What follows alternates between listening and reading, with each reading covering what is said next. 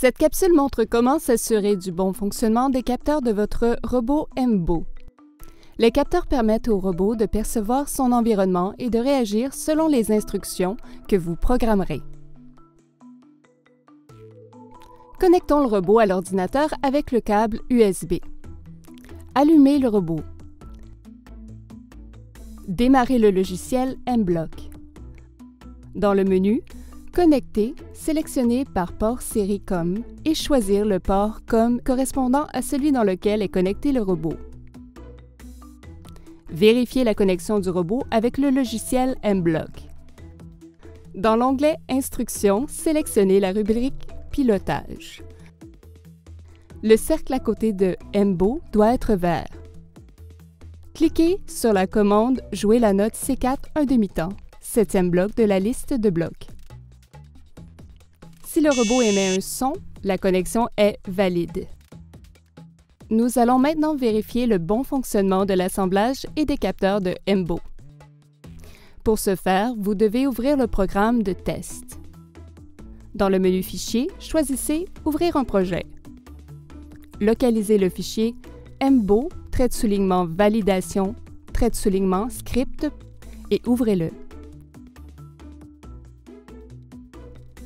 Cliquez sur le drapeau vert dans la zone en haut à gauche de l'écran intitulé MBO, trait de soulignement validation, trait de soulignement script.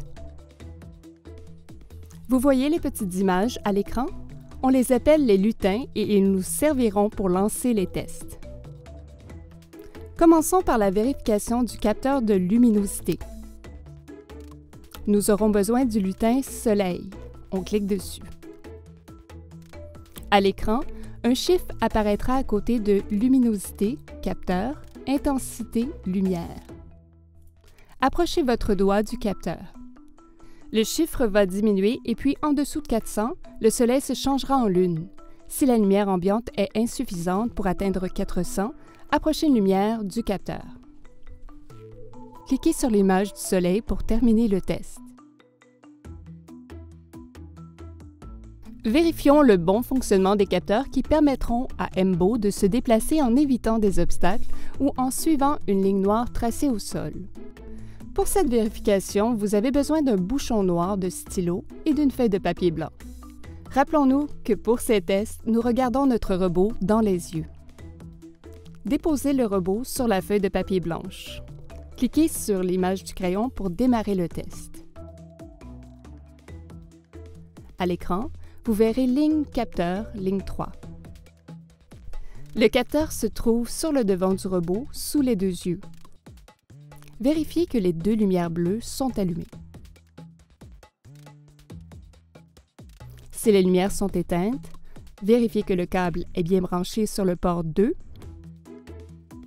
Si cela ne règle pas le problème, vérifiez que le câble est bien branché au capteur.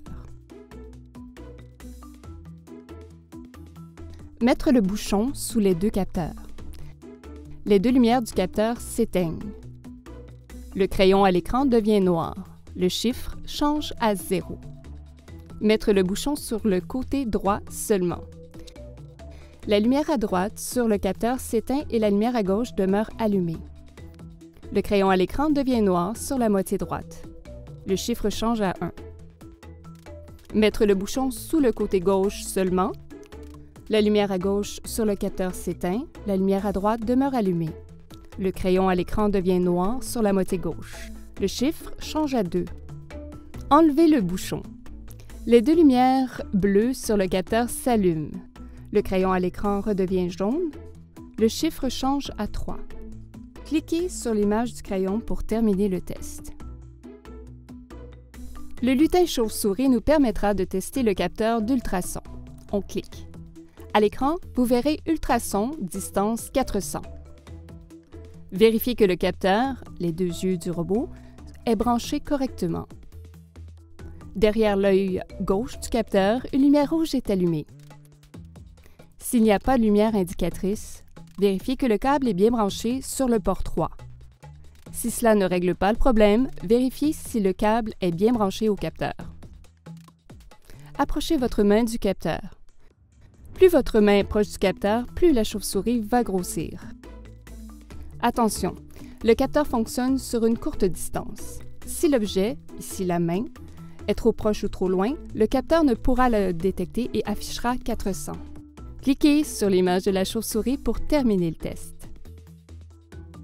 Il ne reste plus qu'à tester le transmetteur et receveur de lumière infrarouge provenant de la télécommande. Cliquez sur l'image du chapeau de magicien pour démarrer le test. Appuyez sur le bouton 0 de la télécommande. Le chapeau du magicien à l'écran changera de couleur. Cliquez de nouveau sur l'image du chapeau de magicien pour terminer le test. Voilà, vous avez complété le test de validation des capteurs de MBO. Maintenant, c'est à vous de le programmer.